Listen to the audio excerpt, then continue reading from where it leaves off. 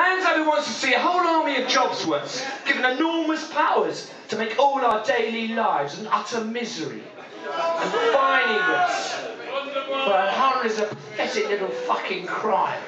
fuckers! Hands up who wants to see that. No! We've got three Labour supporters in.